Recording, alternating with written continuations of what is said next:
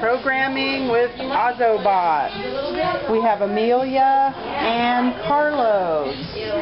They have designed a course here. And we have these little Ozobots that you can program and use special markers and they follow the line. What else can you guys tell me about Ozobot? Our Uh-huh. Most of the, what they do is under here, Yeah. they have a scanner right here. Wait, let's see. A Yeah. scanner which um contacts these and um these markers. Um, Let's see the markers. the markers are here. Yeah. There's there's four colors: blue, green, red, and black. This is our and- Carlos. These will make it where it'll it'll scan it Yeah. And it'll go by its color. And there's and it has commands you can do, and it has many different commands. So each color, Yeah. it can it just does this if you just do one color, but if you do multiple colors, it it makes a um, different move. I want to see what happens when it hits the star. What's going to happen, Carlos? What would happen is it will try to follow, and what I'm trying to do is if it doesn't go up there, it'll go back to its um. Oh, It'll go back here. Which, if it does, if Look it at all goes back these little here, Ozobots. it'll go back there, and it'll return back. Trying To restart. It's trying to find a line. My wife and I are going through the process of putting one stuff in. Also, too. Like it's happy when it finds a line. So you're not wearing anymore, you know. So I wonder if when it gets to the end of the line, does it stop and reverse itself? It won't, Most of the time. unless if you try to, if you want to connect it. Like this circle, it's Yeah. connected, it has no end, Most it'll of the time, they flip themselves around, but it kind of depends on the line. Okay, that's Amelia right there. Good job, Amelia. So uh, we just tell them what we want to do by dragging and a different categories. Uh, so I wonder if we were completely in the dark, could the Ozobots find their lines? They would, They would still find their lines? yes. Tell me why. They have these scanners and it lights up, Uh-huh. so it can find its still way. It's like a night light. Okay. It, it just has that light, which There's a light underneath. Mhm. Okay. It also has light in here. Yeah. So even though it doesn't have, uh, if it didn't have colors on this, it could have still shined on this, and it, you'll Okay. still be able to, it'll still be able to see it. Sounds great. All right. You guys did a great job here, the Ozobot. Okay, so here we have Zach and Carlos at the Ozobot. And they are, they have a special conga line they want to set up right here. Let's set up the conga line, guys. Okay. And every time the Ozobot, what happens when the Ozobot goes over a different color, you guys? It changes colors. See? Ah, crash! So we have a green, becoming a blue, becoming a red. Yep. Because, why does that happen, Zach? Um, depending on what color they're on, they'll change colors or. Uh, Yeah. Let's start the conga. Carlos, why is it happening? When you put on that, uh, Why is it happening? and then it goes even faster. oh no. Oh no, crash. Oh no, no. Yeah. We have a derailment. Wait, let me try something. If I do this, if I put this right here and stop Yeah. it, I can form it. This is sort of like a train. yes. Look what I. That's what happens when I put on. Train. Well, they want to get away, don't they?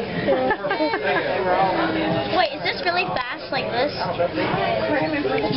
that going to be fast? Let's try. That's programming right there. This is fast. This is fast. Let me try something. Oh. All right, so what I'm doing is taking a video of what you're doing here. All right, say your name. Stephanie. Jael. Jael. Leslie. Leslie. All right, and we are making some weaving looms here. And they're beautiful looms. Look at that, Stephanie. Hey, um, I'm doing this. I'm tying it some type of pattern. Then I'm Uh-huh. tying all of the strings and gonna tie this too. So then whenever you take it out, it'll already be like as circle as a bracelet. Wow. Very good. So are you following directions from a book? Some research I'm you did? doing it by my. I'm doing it and I. I invented it. Oh, okay. I've done it. Oh, you've done it before. Good. So what you can do is improve what you have done before and invent something totally new. So is this a bigger loom than what you have used before, Stephanie? Yeah, I've done like the small ones. Yeah. Good. Jael, tell us about what you are. Well, Weaving. she's helping me with this because I can't really do it. Okay. Um, I'm supposed to do like the same pattern until I want to end. Then um, I cut it, I think, and then it makes a bracelet. Very good. And so you'll use different colors then? hmm Very good.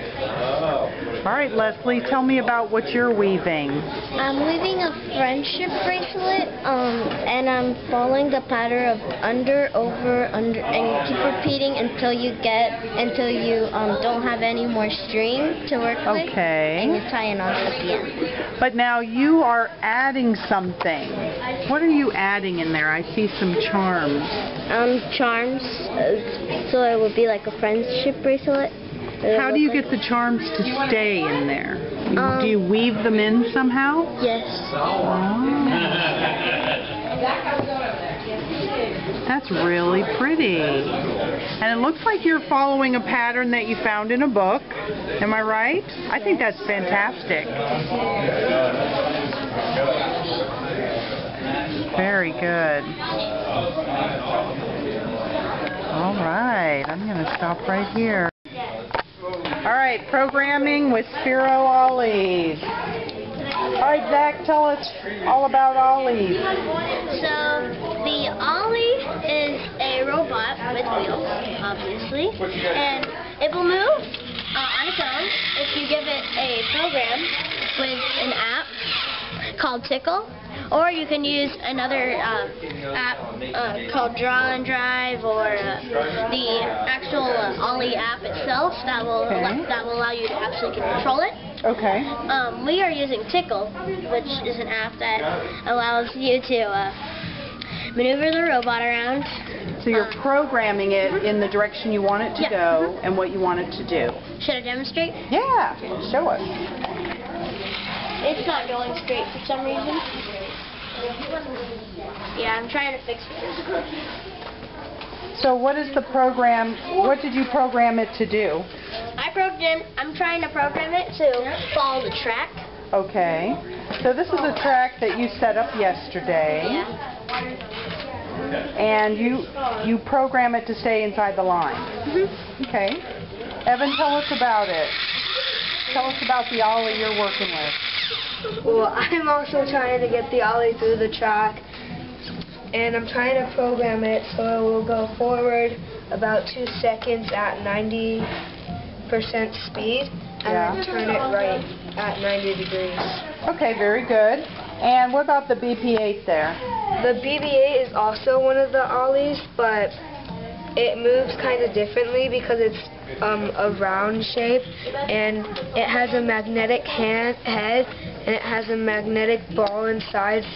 So when the um, BB-8 moves, the magnetic moves, so the head will stay up. Oh, okay. So the head sort of revolves on top of it? Yes. Can can we see it? Uh, yes.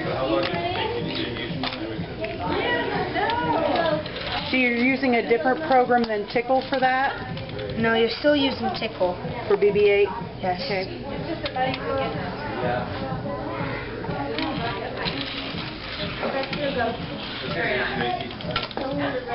Mm-hmm. It will it will wobble around because the head is a little bit more extra weight to its body, oh, okay. so that's with it. There it goes. Little robot. This one is a really fragile child, that's why we're not using it. The BB-8 is? It's really hard to control. Oh, And okay. as you look, as I turn it, the head tries to stay on the top. That's so cool. All right, I like that. I like that. So between the BB-8 and the Sphero Ollie, which one do you guys like better? Ollie. You like Ollie? Because it can run into stuff really good? Yeah, because it has treads that protect it from being damaged, and then even if it hits a wall, it won't break, and then It'll you don't have to go to the right store off. and buy a new one. It's there. Very good. Very good. Anything else you want to say about Ollies, or you just want to keep programming? And when you program it with the apps or Tickle, you can also change its color to whatever you want, like the little light it has. Uh-huh. So you can change it to green, pink, black, uh, purple, whatever you want. Okay, very good. All right, I will check back with you when you guys do some programming, okay? Good job.